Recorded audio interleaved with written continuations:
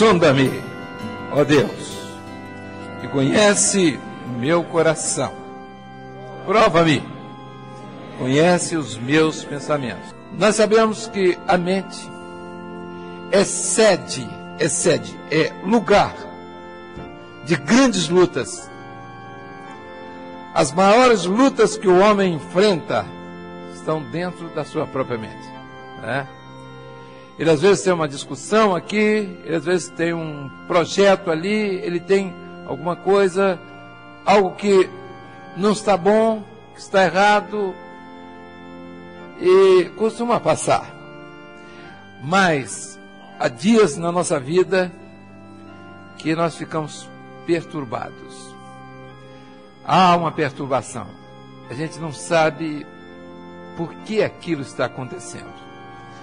E muitas vezes é o resultado de uma posição que nós tomamos, uma palavra que a gente falou que não devia ter falado, uma decisão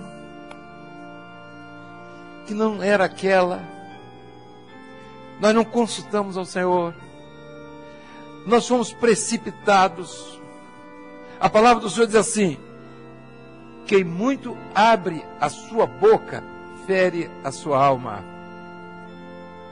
E às vezes, nós estamos pensando até que nós estamos ferindo as pessoas quando falamos certas coisas. É o maior engano. Quando nós queremos agredir alguém com uma palavra, com uma atitude, com um gesto, quando nós queremos agredir alguém, nós estamos enganados. Nós é que estamos sendo agredidos. A mente, a nossa mente é algo extraordinário, foi projeto de Deus. Ele não fez a mente do homem para que o homem se corrompesse da forma que tem se corrompido. A mente que Deus criou foi uma mente sadia. Uma mente que tivesse equilibrada.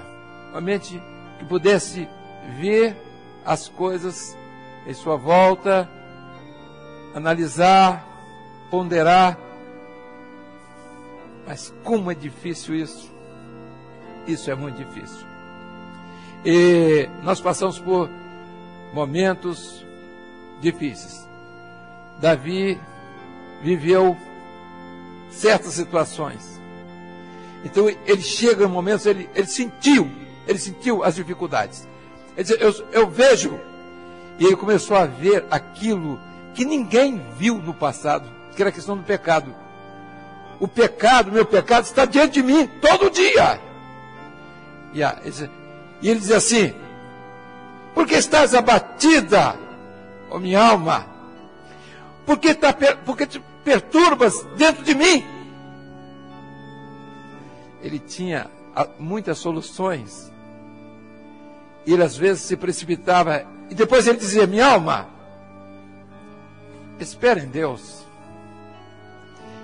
Minha alma espera em Deus. Nós não temos esperado em Deus.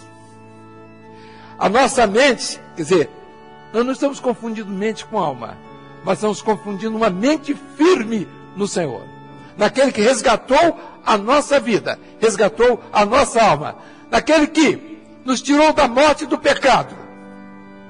Estávamos mortos em delitos e pecados, e pelo seu nome nós temos vida. Nós estamos falando de uma mente viva, de uma mente que nasceu de novo. Nós estamos falando de, uma, de um novo nascimento. E nós começamos a perceber, em certos momentos, que a perturbação entra no nosso coração, na nossa mente, e Davi percebe, porque quando ele escreve o salmo, ele já tinha escrito muitos outros, ele, ele se sente numa, em certas dificuldades assim, cordéis da morte me cercaram, angústias do inferno se apoderaram de mim. E eu clamei ao Senhor, invoquei o nome do Senhor. Meus irmãos, feliz é o homem que pode confiar no Senhor. Feliz é o homem que sabe que conduz o maior tesouro que é a imortalidade da alma dentro dele. Quando o homem conhece que ele é o veículo desse projeto de Deus, muitas coisas vão sendo extirpadas da vida, da mente, e nós vamos prosseguindo nessa caminhada. Na verdade, a mente tem, ela tem um segredo que, se não for descoberto, que é a intimidade dela com Deus. Eu hoje preciso de uma bênção de Deus. Eu vou buscar a bênção. Eu hoje preciso de uma libertação. Eu hoje preciso de uma solução para o meu problema.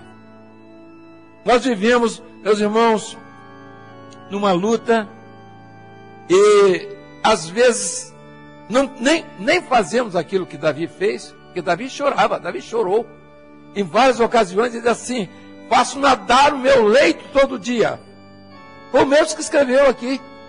Ele sentia o pecado diante dele. Ele sentia, ele disse, eu estou vendo, estou vendo a minha situação. E a pergunta, às vezes, precisa ser feita: por que estás abatida, oh minha alma? Minha alma, por que você está abatida? Porque se perturba dentro de mim? Por que estás abatida? Por que essa perturbação dentro de mim? E ele mesmo responde: Espera em Deus.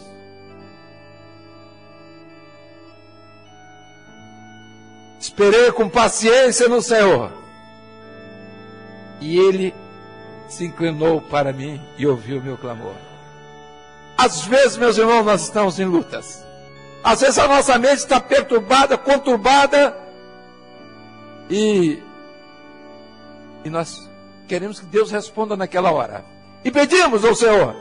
E parece que Deus não ouviu a nossa oração. Mas há um momento, é como se diz assim: ele se inclina, hein? O que, o que você está falando? Hein? O que, é que você está pedindo? Esperei com paciência no Senhor.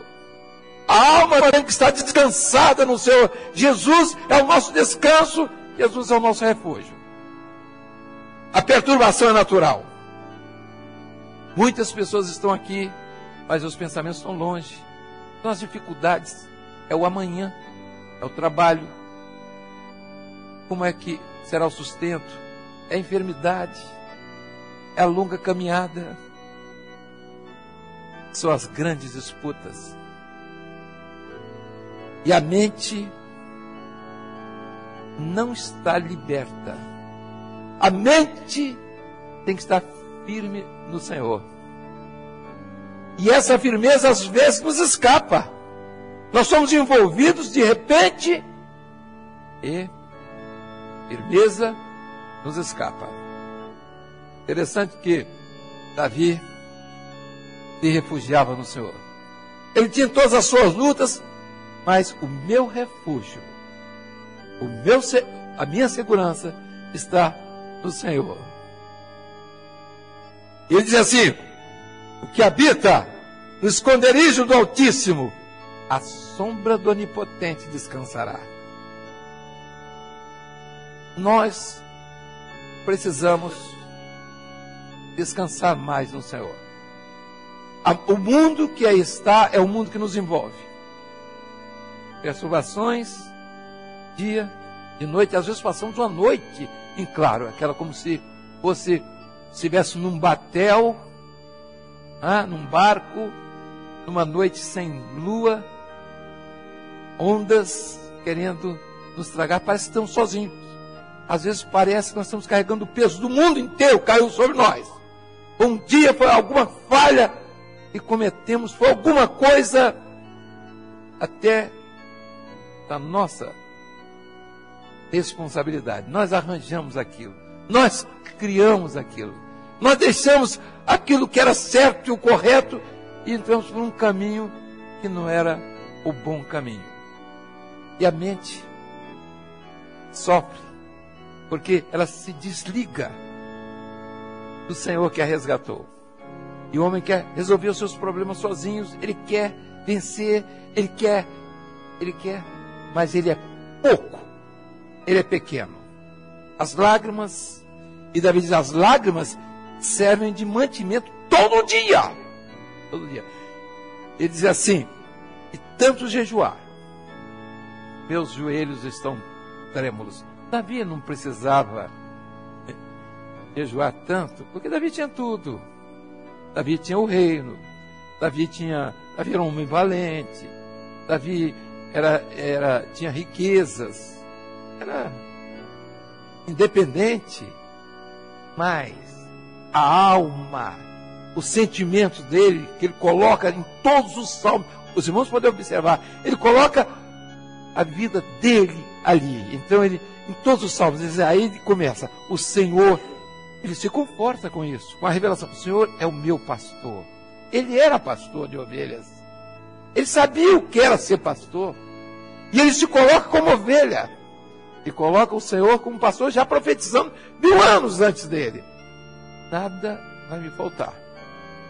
Ele sempre tem me dado o descanso. Meus irmãos, às vezes nós paramos, ou digo, nós não paramos para ver tudo aquilo que Deus fez na nossa vida. Nós só começamos a ver as coisas ruins, os fatos estão acontecendo, e, e isso, e não damos tréguas, a nossa alma descansar. Ela, ela não descansa. Ela está sempre agitada. Ela está. E a nossa mente não está firme no Senhor. A mente firme no Senhor. Davi mostra aqui o destino do homem. O Salmo 23 é o destino do descanso da alma. É da, da mente firme no Senhor. Pastos verdejantes, águas tranquilas, caminho, verdade e vida que estavam dentro do Salmo. Né? E a caminhada com o Senhor. Meus irmãos, nós somos um povo feliz, porque nós não vivemos de filosofia, nós não vivemos de argumentos, nós estamos vivendo, meus irmãos, uma experiência de fé todos os dias. Há poucos instantes estávamos conversando com um grupo de pastores e perguntando aos pastores: vocês estão dando atenção ao rebanho? Os rebanhos estão ouvindo a voz do Senhor todos os dias. Há pessoas que precisam ouvir todos os dias a voz do Senhor. Eu sou uma delas. Eu preciso saber o que Deus tem para a minha vida amanhã. Eu não posso sossegar. A minha alma não pode sossegar se eu não sei o dia de amanhã para a minha vida. Mas um dos grandes problemas são aqueles que nós acumulamos.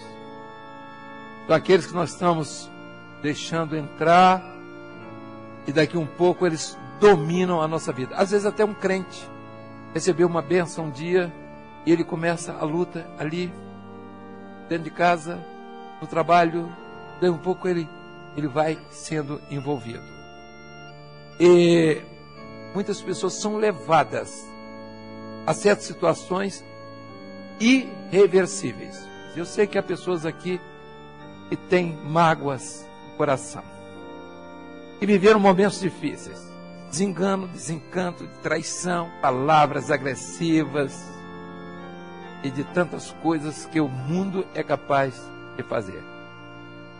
Sabe que quem faz isso às vezes está lá, está vivendo, está feliz. E você adoece. E se esquece de que você tem um compromisso com sua família, com seus. Às vezes é do, do próprio companheiro, do marido, seja o que for, às vezes da esposa.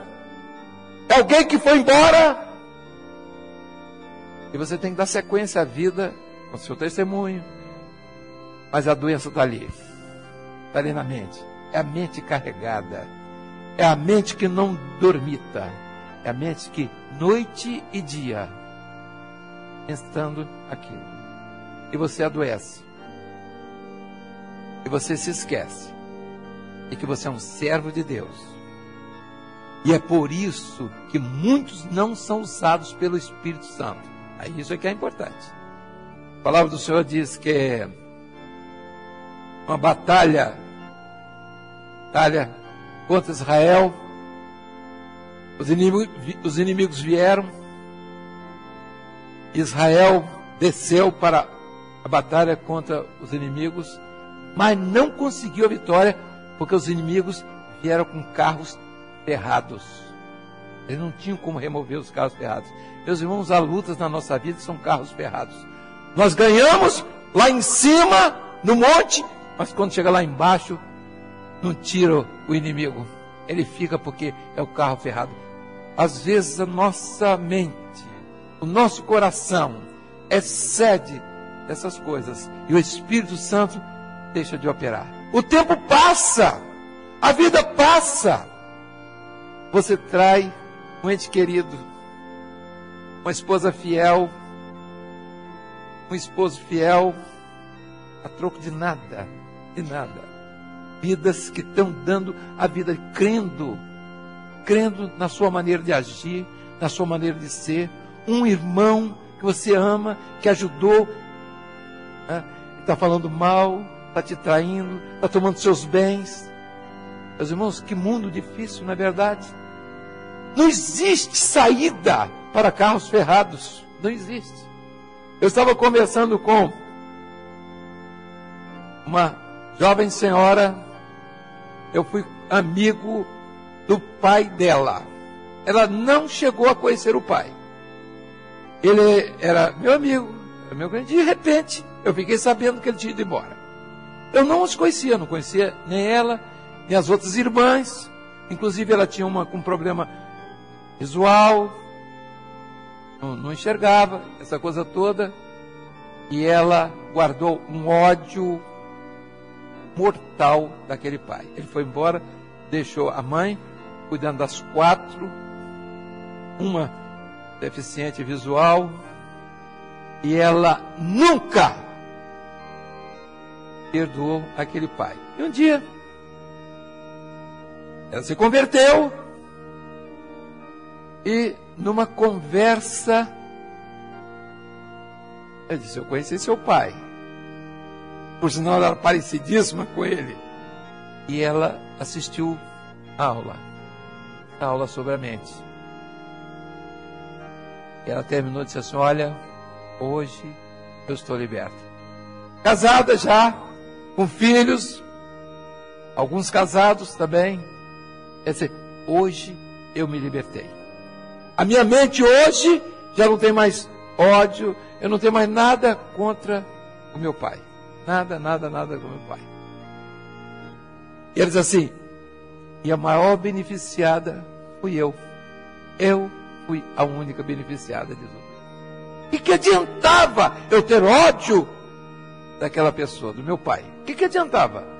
Razão, a mente, eu tinha mas eu não conhecia a bênção do Espírito Santo na minha vida. E eu agora estou liberta.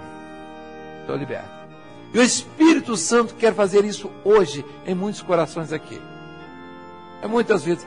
E eu vou dizer, todos aqui, todos, quase todos, têm um motivo para guardar, para envasilhar no seu coração uma mágoa e o salmista diz assim: sonda-me, ó Deus, sonda-me. E você pode fazer isso hoje. Eu não vou me delongar. Você pode dizer isso: sonda-me, ó Deus. Vê, entra dentro de mim. Às vezes há coisas que nós nem lembramos, assim, aparentemente, mas nós estamos perturbados. É o sono perturbado da noite, com o passado, com aquelas coisas. Nós temos que ficar livres disso. Nós temos que pedir libertação ao Senhor.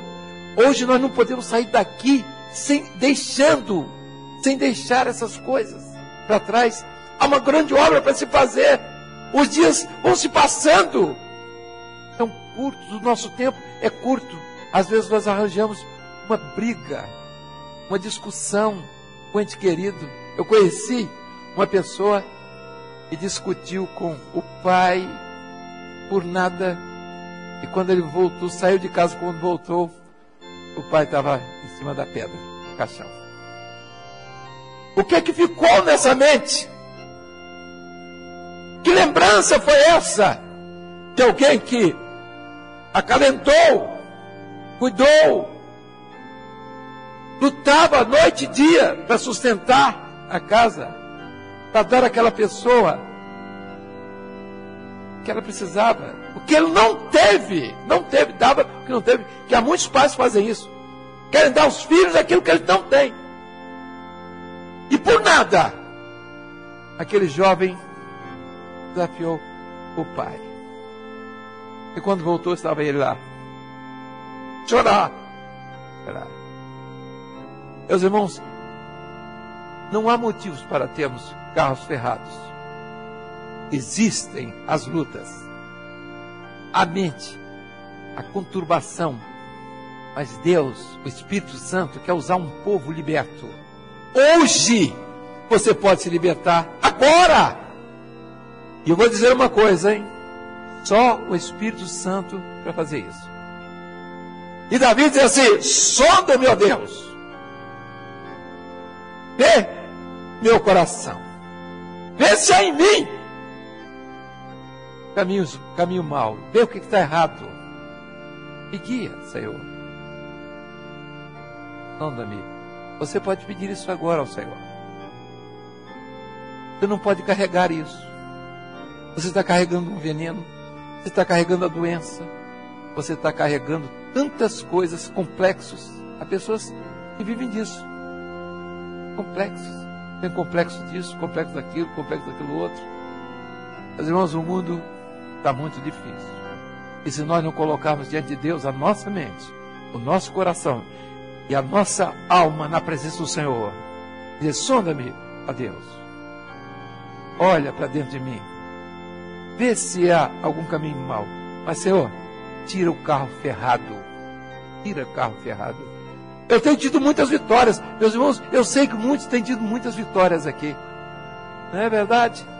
Vitórias, vitórias, vitórias. Mas há carros ferrados. Carros ferrados. Difíceis de sair. Só o poder de Deus para tirar os carros ferrados da nossa, da nossa mente. E o salmista, sonda-me, ó Deus. Prova, prova, prova-me. Conhece os meus pensamentos. Esse é em mim. Caminho mau, algum caminho mau. Guia-me pelo caminho eterno. Nós vamos para a eternidade. Não vamos levar nada disso. E nós precisamos de pedir a Deus todos os dias todos os momentos, para que o Senhor tire essas coisas que estão interrompendo a nossa comunhão com Ele, a nossa plena comunhão com Ele. Ele sabe que nós somos frágeis. Ele sabe que nós temos as nossas mazelas. Ele sabe disso. Ele sabe o que está envasilhado no nosso coração. Mas nós não podemos esquecer de falar com o Senhor, de orar ao Senhor: Senhor, sonda-me, sonda-me, ó Deus, e está dentro de mim. Vê lá no profundo, no escondido, revela agora, Senhor, e tira esse mal do meu coração.